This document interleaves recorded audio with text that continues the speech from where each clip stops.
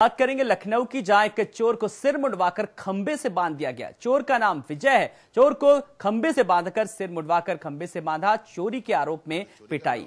तो सिर मुड़वाकर खंबे से बांधा। लगातार इलाके में चोरी की कई शिकायतें मिल रही थी लेकिन अब आसपास के लोगों ने आखिर खुद ही धर दबोचा और खुद ही कानून को अपने हाथ में लिया और खुद ही बन गए जज और कर दिया फैसला। तस्वीरों के ज़रिए देखिए।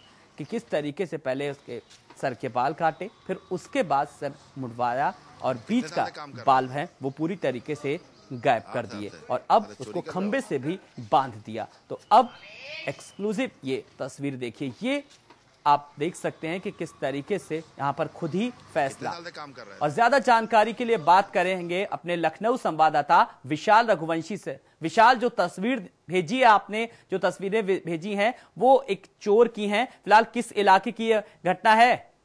लखनऊ के थाना इलाके के राजेंद्र नगर की घटना है। जहाँ पर एक चोर को चोरी से पकड़ा गया और वो उसी घर में करीब आठ साल से काम कर रहा था। ऐसे जब उसको पकड़ा गया तो उसके जो बाल हैं उसको आधा बाल काट दिया गया उसके बाद उसको पोल से बाँध दिया करीब चार घंटे तक उसको पोल से ही बाँध रखा गया रस्सी से हालाँकि जो स्थानीय पुलिस थी वो मौके पर नहीं पहुँची थी और चोर की ज़बरदस्त पिटाई भी की गई है और वो करीब घर में करीब आठ साल से काम कर रहा था और कल देर रात उसको चोरी कर पकड़ा गया था। उसके बाद से ही उसको काफ़ी पिटाई की गई। पहले घर में उसको बांधा गया उसके बाद घर के ठीक बाहर विशाल अगर बात करें लखनऊ का राजेंद्र नगर इलाका काफ़ी पौश इलाका, पर पिछले कुछ दिनों से इस तरीके की घटनाएँ कुछ ज़्यादा ही बढ़ रही जान सकते हैं वजह देखिए सबसे अहम बात यह है कि चोरी घटना इसलिए भी ज़्यादा बढ़ रही है क्योंकि जो लोकल पुलिस है या जो लोकल इंटेलिजेंस है, वो बहुत ज़्यादा तेज़ी से काम नहीं कर पाई इस यही वजह है कि जो चोर है, उनके हौसले बुलंद है, अपराधियों के हौसले बुलंद है। यहाँ तक कि पूरे शहर भर में सीसीटीवी फुटेज लगाने का दावा तो लखनऊ पुलिस करती है, लेकिन बहुत ज़्यादा सीसीटीवी फुटेज जो कैमरे हैं, वो दिखाई नहीं पड़ते हैं। यही वजह है कि